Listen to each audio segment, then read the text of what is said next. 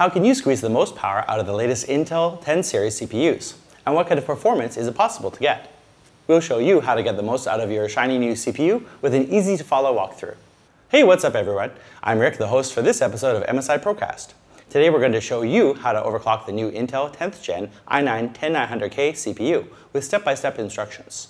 The latest Intel CPUs have more power under the hood, so what settings need to be changed? This guide will help you to get your 10900K chip overclocked, but as with most processors, some samples do better overclocking than others. Intel's 10 series i9-10900K is a 10-core, 20-thread CPU running at 3.7 GHz, with a max single turbo core of 5.3 GHz, 20 megs cache, and 125 watt TDP. We're going to try to get up to 5.2 GHz on all cores. MSI's latest Z490 motherboards make it easy for you to tweak your processor to get the most out of your Intel 10 series CPU. This CPU line uses a new LGA 1200 socket, so older CPUs won't fit. Content creators and gamers are looking forward to the power that the Intel 10 series CPUs have to offer, boosting productivity and multitasking with the increased core count. Let's get to it.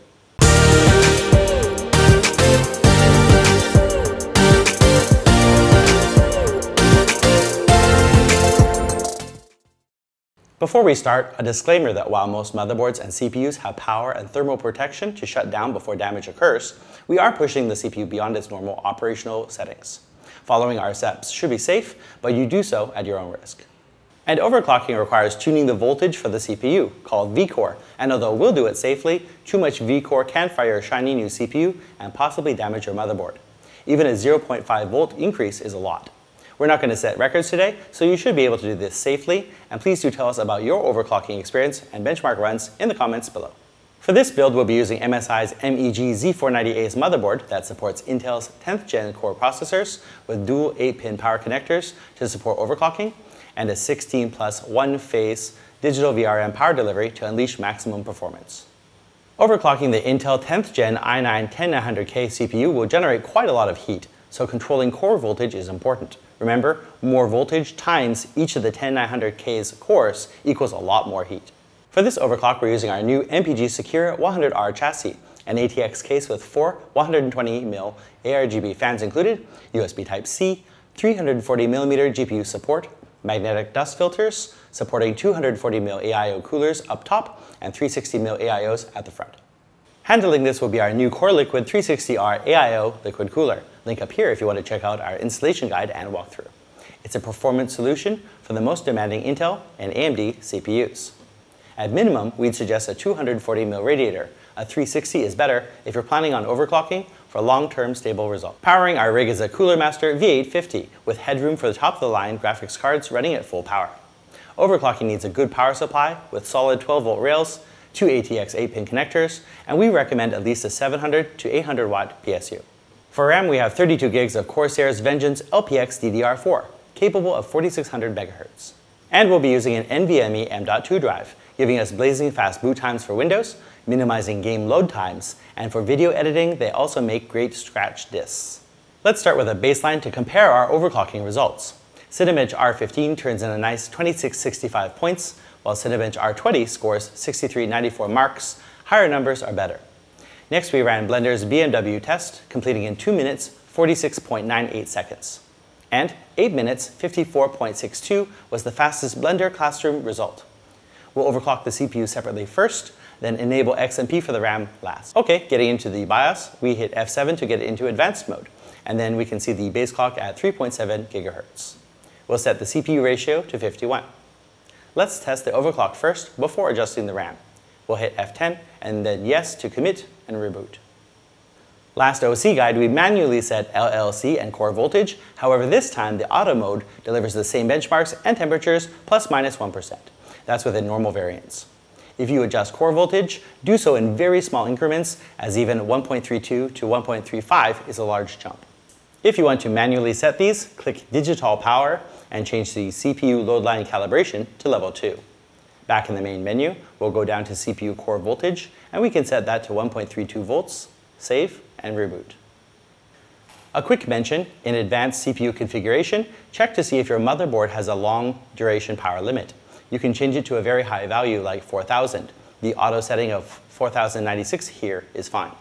This removes a limit on the all-core boost clock and will help in rendering, but won't really be noticeable while gaming.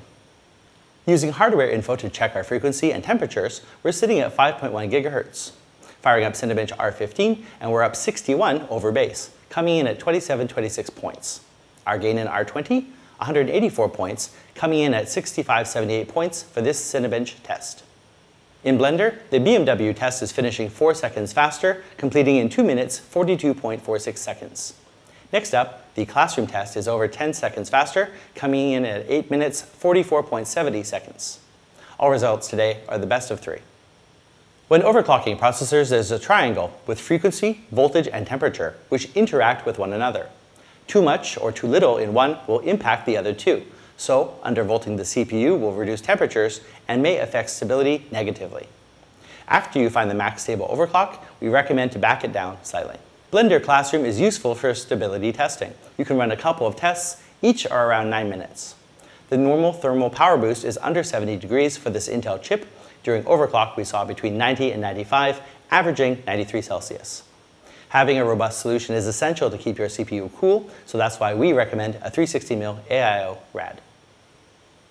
We're not done yet. Let's overclock the DDR4. We'll go down to the DRAM setting and change the XMP setting to enabled, raising our RAM to 4600 MHz. Hit F10 and click Yes to save settings. Time for results, and at our final setting of 5.1 GHz for the CPU, DDR4 at 4600 MHz, we got a Cinebench R15 score of 2746, 81 points over stock. Cinebench R20 also showed improvement at 6551 marks, a rise of 157 from the 6394 stock. The Blender tests run longer, so the higher memory frequency factors in more. In BMW, we got a 2-minute, 40.86 second result, 6 seconds faster than base. And the Classroom's 8 minutes, 37.27 second result is 17 seconds faster than stock. For further tweaking, you can adjust CPU core voltage, the Intel i9 10900K performing between about 1.25 to 1.35 volts. Lower voltage reduces temps, but also can reduce performance. Just remember to adjust in very small increments, as even a 0.02 volt jump up affects temperatures, and too much can damage your CPU. This 10th gen Intel i9 10900K processor gains around 3% with overclocked RAM and CPU. Some samples can reach 5.2 GHz, ours hit a stable 5.1 and for daily rendering use, we'd suggest an even 5 gigahertz. The CPU coming in at about 83 degrees, lowering it by 0.1 decreased temperatures by 10 degrees Celsius. Finally, some cooling tips. If you're hitting around 90 degrees, then you should lower the core voltage and or core frequency. The Core Liquid 360R monitors the fan speed, and we can choose the fan profile performance, which will run fans at max useful while stress testing to dump the heat as fast as possible. And visit the hardware monitor section in the BIOS. You can adjust your fans by configuring the smart fan profile, and you can set a more aggressive fan profile for heavy CPU loads like rendering. If you're overclocking, let us know what kind of results you got with your setup down in the comments. If this guide helped you or if you learned something, be sure to hit that thumbs up button and don't forget to subscribe to MSI Gaming for the latest news. Thanks for joining us today and happy overclocking. See you all in the next episode.